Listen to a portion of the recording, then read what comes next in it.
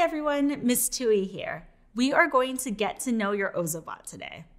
For today's lesson, you will need an Ozobot Evo, a pencil, your Get to Know Evo worksheet, and optionally, if you'd like to color, markers, colored pencils, or crayons.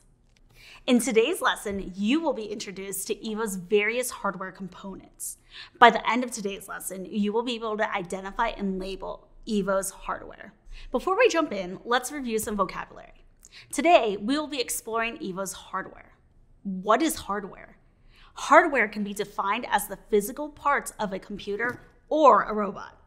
As we go through the different hardware components of the bot, follow along on your worksheet to label the different parts of EVO.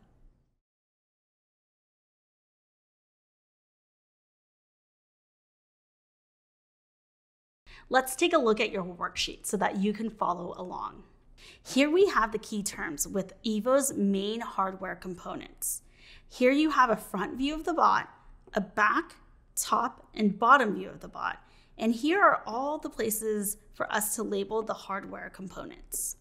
EVO is a line following robot that you can program two ways color codes, made with markers, and with OzoBlockly, block coding on a computer or tablet. You'll learn all about these two ways to code in upcoming lessons. In your kit, you will have an Ozobot Evo, markers, and a charging cable.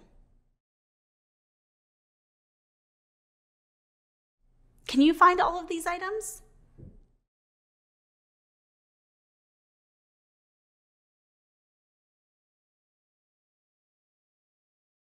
Let's get started. EVO has three types of sensors proximity, line following, and color. EVO has proximity sensors that can be programmed in OzoBlockly to detect objects in front and behind the bot. Can you find EVO's proximity sensors? They can be viewed from the front and the back. One of EVO's features is that it can follow lines. Underneath the bot, towards the front, there is a row of line following sensors. These sensors allow EVO to see and follow a drawn line. EVO can detect and respond to colors using the color sensor located underneath EVO between the wheels.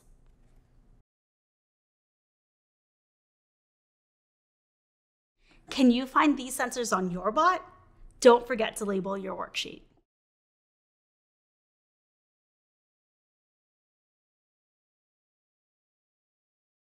EVO has LED lights. There's one light on top of EVO and five in front of EVO.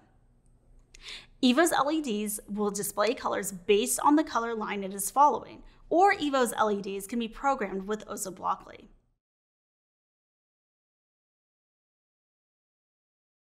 Can you find the LEDs on your bot and on your worksheet?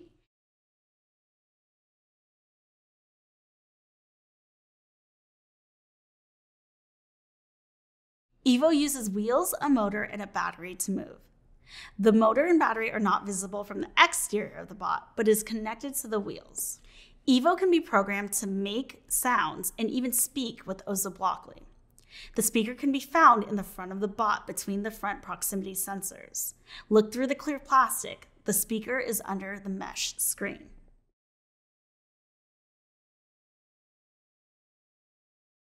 Can you find these on your bot? Don't forget to label your worksheet.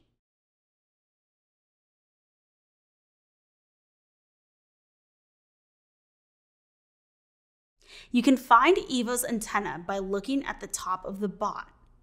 The board you see here is the baby PCB board. The board controls the robot. Towards the front of the board, there is a tiny white rectangular prism. This is EVO's antenna. The antenna allows for Bluetooth connectivity.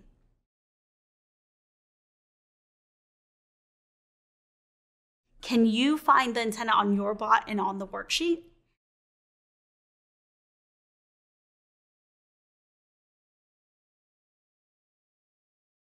EVO uses a micro USB port and charging cable to charge its battery. You can find the port on the back of the bot. EVO fully charges in about one hour. The LED lights will turn solid green when it's finished charging. On a full charge, the battery life is approximately one hour.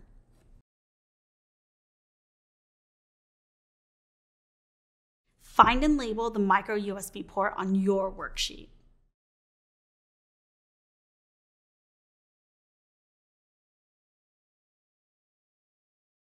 EVO's power button is on the side.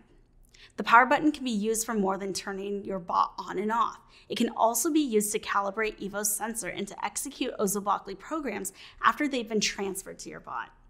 To learn more about calibrating EVO, check out our Introduction to Color Codes lessons.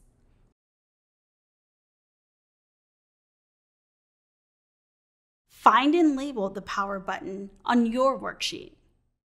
Now that you know how EVO works, come back again soon to learn all about EVO's color codes. If you'd like more to do right now, you can use markers, pencils, or crayons to color your worksheet.